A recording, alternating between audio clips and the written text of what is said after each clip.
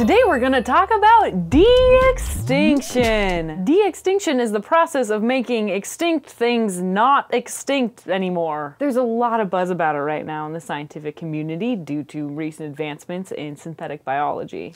Awesome! I get to write a brontosaurus! Or do I? Are we really bringing back extinct animals? What is really happening here? There are various complicated reasons why these species would not be the same animals that walked the earth hundreds or thousands of years ago. To de-extinct a species requires finding a specimen with viable DNA. For instance, a 100 year old passenger pigeon from a museum drawer or a 4,000 year old woolly mammoth found thawing in an iceberg in the Arctic. The reason these animals are being targeted for de extinction is because they have close living relatives that are still with us today. For instance, your average rock pigeon or the African elephant. The Jurassic Park idea isn't really realistic because unfortunately DNA degrades over time, meaning we're not going to have pet velociraptors anytime soon. As cool as it would be to hide one in your sister's closet.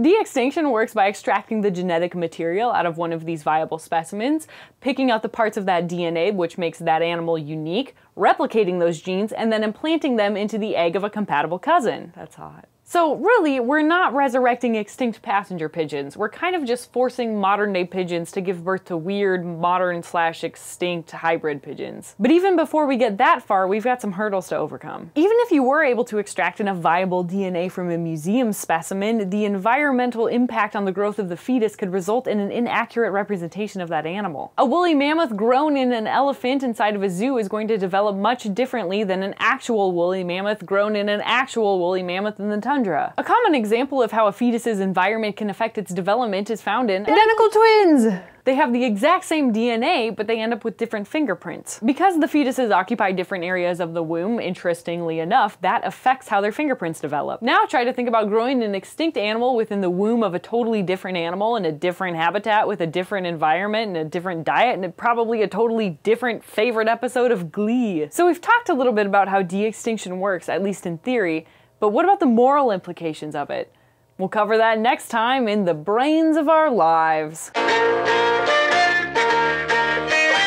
Episode of The Brain Scoop was generously brought to you by Audible.com. And they're giving away a free audiobook to viewers of The Brain Scoop, which means this is an awesome opportunity for you guys to check out some of my favorite books about natural history. Like Between Man and Beast, An Unlikely Explorer, The Evolution Debates, and The African Adventure That Took the Victorian World by Storm by Monte Reel. You can get your free audiobook by going to audible.com slash brainscoop. Thanks for watching, and remember, audible.com slash brainscoop. Free.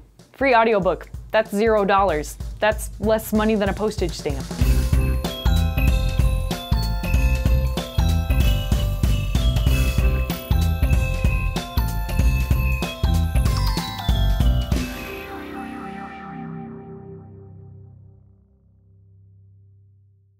It still has brains on it.